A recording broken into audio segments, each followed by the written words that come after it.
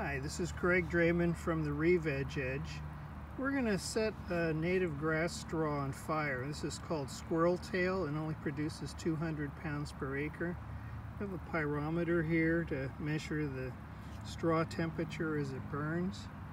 And it probably produces the lowest amount of fire fuel per acre, only 200 pounds per acre.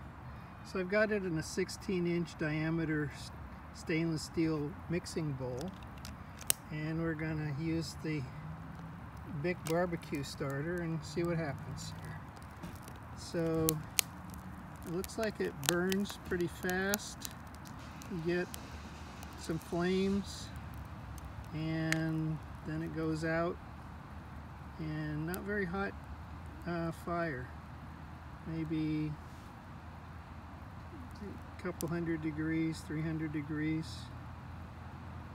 400 by the time it's finished. So if you want to see all of my burn experiments, the link is at ecoseeds.com slash burnbabyburn.pdf. Thanks. Bye-bye.